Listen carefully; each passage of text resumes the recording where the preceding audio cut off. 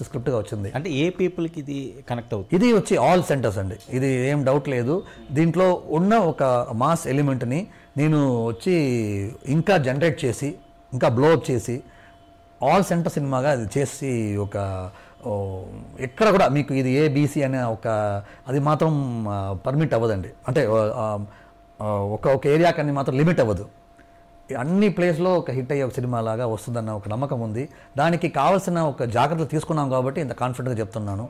So every day every day ఏంటంటే whole team అండి. Whole team as put their best so ఇప్పుడు తమన్ తమన్ తాలూకు background score కానీ నీరవ్ షా గారి ఇది కానీ లక్ష్మీ భూపాల్ డైలాగ్స్ కానీ ఇంకా అన్ని ఒక త్రూ అవుట్ ఒక టీమ్ ఎఫర్ట్గా అందరూ ది బెస్ట్ పెట్టామన్న ఎఫర్ట్ ఒక సంతోషం చిరంజీవి గారు మూవీ అనగానే నవరసాలని ఎక్స్పెక్ట్ చేస్తుంటారు. అవును. ఆయన డ్యాన్స్లు అద్భుతంగా చేయాలి ఫైట్స్ అద్భుతంగా చేయాలి మంచి కామెడీ పండించాలి నవరసాలు కావాలని కోరుకుంటారు. సో అవన్నీ గాడ్ ఫాదర్ దొరుకుతాయి అన్నీ అన్నీ ఉన్నాయి అన్నీ ఉంటాయి. ఫైట్స్ అన్నీ ఉంటాయి.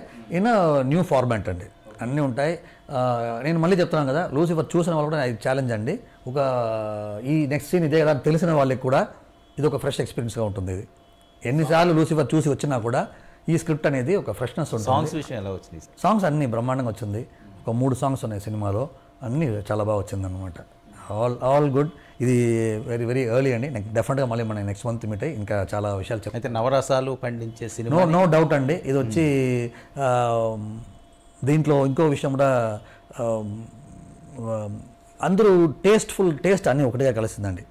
చిరంజీవి గారు ఆ సినిమా తాలూకు ఇది క్లాస్ అంటే ఆ క్లాస్ కానీ ఇది ఏ ఏ స్టైల్లో ఉండాలి అనేది ఆయన ఆ, సబ్జెక్ట్ తాలూకు మీటర్ని కరెక్ట్గా ఎన్నుకోవడం కానీ నేను వచ్చి నాన్నగారి దగ్గర నేర్చుకున్నవాడిని సినిమా. ఆయన వచ్చి మీకు లాస్ట్ నా నేను డైరెక్ట్ చేసిన హనుమాన్ జంక్షన్ వరకు క్షేమంగా వల్ల లాభగారండి హనుమాన్ జంక్షన్ మనసిచ్చి చూడు హిట్లర్ కానీ ఇవన్నీ మీకు ఆల్ సెంటర్ హిట్స్ అయిన ఒక విషయం. నాన్నగారి దగ్గర నుంచి నేను అది కొంచెం నేర్చుకున్నాను. ఇది వచ్చి ఏదో ఒక్క ఏరియా ఒక్క సెంటర్లో ఆడటం కాదు అని కొంచెం అది ఆయన ఆ, కొడుకుని చెప్పుకునేంత నేర్చుకున్నాను నేను. అది అది కానీ సేమ్ చిరంజీవి కూడా అదే మెంటాలిటీ ఉండడం. ఇవన్నీ అండి. ఇప్పుడు అప్డేటెడ్గా ఒక సినిమా లూసిఫర్ ఆ- ఆ టైప్లోనే ఉండడం. దాంట్లో ఉన్న మాస్ని ఇంకా బిల్డప్ చేయడం. దాంట్లో క్లాస్ని ఇంకా బాగా చెప్పడం. సో డెఫినెట్గా ఇది ఆల్ ఆడియన్స్ ఫిల్మ్గా అవుతుందని నమ్మకం ఉంది. అందరిలోని చాలా యాంగ్జైటీ ఉంది. ఎప్పుడు వస్తుందా ఫిల్ము? ఎలాంటి హిట్ని అందిస్తారన్నది. ఫైనల్గా ఇందాక రామ్ చరణ్ గారి గురించి చెప్పినప్పుడు చాలా చెప్పాలన్నారు.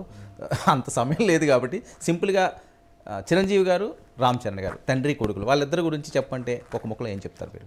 నాకు వేరే గుర్తు రాలేదు కానీ నాకు ఆచార్య ఫంక్షన్లో అదే చెప్పాను. ఈ సినిమాలో గాడ్ ఫాదర్ డైలాగ్ ఉంది. ఆ డైలాగే నాకు మళ్ళీ గుర్తు వస్తుంది వారసత్వం అంటే పదవి కాదు అదొక బాధ్యత అని.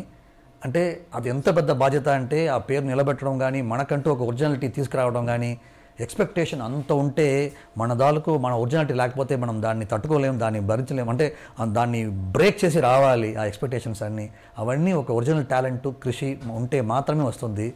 అది కళ్ళ ముందు నేను రామ్ చరణ్ గారిని చూసినప్పుడు అది ఎంత కరెక్ట్గా డీల్ చేస్తున్నారు ఒక ఇండియాలోనే ది బిగ్గెస్ట్ స్టార్లో కొడుగ్గా కొడుకుగా ఉండి అది ఎంత బాగా డీల్ చేసి తన ఫైట్ చేసి వస్తున్నాడు అనేది it's very obvious very clear అండి అది.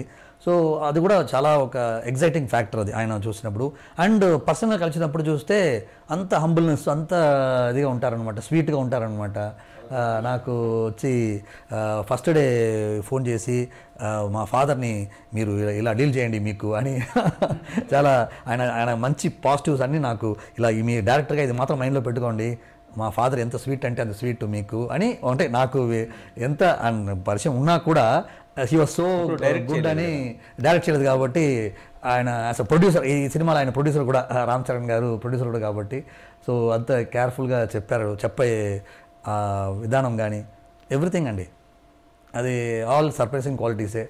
అది చాలా చెప్దాం డెఫినెట్గా మీట్ నెక్స్ట్ టైం సార్ మీ అభిమాన హీరో పుట్టినరోజు మీ గాడ్ ఫాదర్ హీరో కూడా పుట్టినరోజు. సో చిరంజీవి గారికి మా నైంటీ నైన్ ప్రేక్షకులకి మీరు చెప్పే జన్మదిన శుభాకాంక్షలు. అవును. అది ఒక మంచి టైంలో ఒక ఇంతకి గాడ్ ఫాదర్ అనే టైటిల్ పెట్టడం అనేది ఇంకా సంతోషం. ఎందుకంటే he is the godfather of Telugu cinema నాకు తెలిసినంత వరకు. దాంట్లో ఏమాత్రం డౌట్ లేదు. అలాంటి మనిషితో పనిచేసి ఒక ఒక ఒక ఒక పనితం అంటే ఇలా ఉండాలి. ఒక మనిషితో బిహేవ్ చేయడం అనేది అనేది ఉండాలి అనేది ఏ క్వాలిటీ తీసుకున్నా ఒక ఎగ్జాంపుల్గా ఉన్న ఆ చిరంజీవి గారు ఎంతో హ్యాపీగా పనిచేసాం గాడ్ ఫాదర్ ఒక మంచి సినిమాగా ఫ్యాన్స్కి అందరికీ నిలుస్తుంది. అలాంటి చిరంజీవి గారికి జన్మదిన శుభాకాంక్షలు. ఆ ఫ్యాన్స్ బాబోయ్ నాకు మొదటి రోజు నుంచి అప్డేట్స్ గురించి కానీ సినిమా బాగా రావాలన్న వాళ్ళ తప్పన కానీ అంటే ఆ- ఆ ఎక్స్పెక్టేషన్ ఫుల్ఫిల్ చేసే డెఫినెట్గా అవుతుందన్న గాడ్ ఫాదర్ నమ్మకం ఉంది అని నేను ఈ బర్త్డే రోజు నేను డెఫినెట్గా స్ట్రాంగ్గా చెప్తున్నాను అనమాట thank you thank you everyone. Thank you thank you so much Raja గారు ఇది మోహన్ రాజా గారితో ఈనాటి స్పెషల్ చిట్ చాట్ మరొక చిట్ చాట్లో మరొక అతిథితో